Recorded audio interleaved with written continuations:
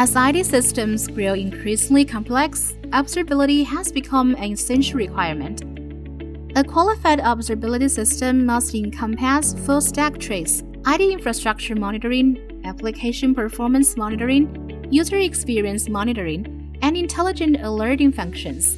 Alibaba Cloud's observability products primarily consist of log service, ARMS, Prometheus, Grafana, and alerting, etc.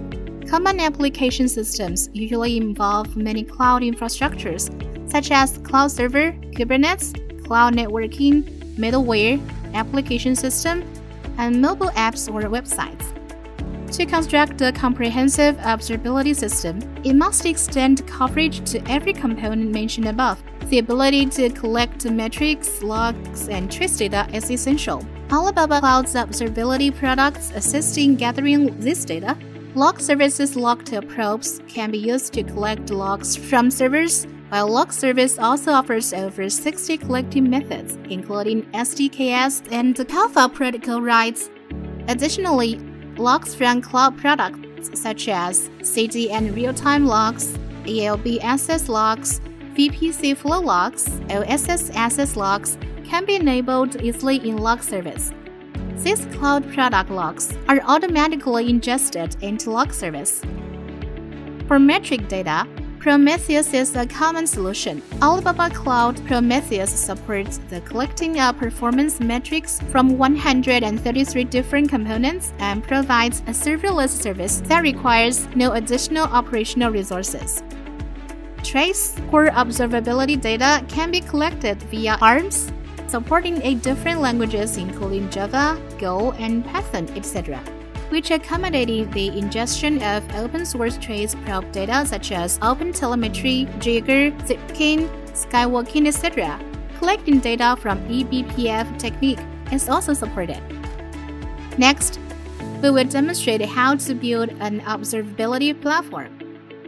A test application is prepared here. Running in a Kubernetes cluster consisting of multiple microservices, the application is currently active and accessible via a web page. The first step is to monitor the application's infrastructure, specifically Kubernetes fundamental metric monitoring. Entering the ARMS console, you will find the entry name Kubernetes Cluster Monitor, where you can start monitoring for the container cluster. If you enable Prometheus monitoring, you create your ACK cluster. The monitoring data should already be visible in Prometheus. Otherwise, you need to select the cluster to enable it. Now turn to Trace. Still in the ARMS overview page, in Integration Center, switch the tab to Server. You can see many language displayed here. Choose one according to your application. Here, I select Java Application Monitoring. Follow the prompts to deploy the trace probe.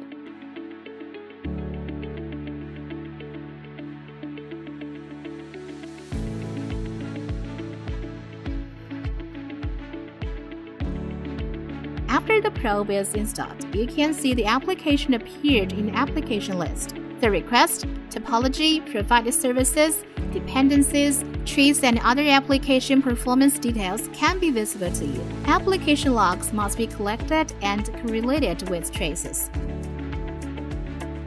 Before log collecting, ensure that the trace ID is outputted to the application logs in the Log4j logging configuration. This enables the association of traces and logs via the trace ID. In log service, configure containers log collecting and ingest business logs from Kubernetes into log service.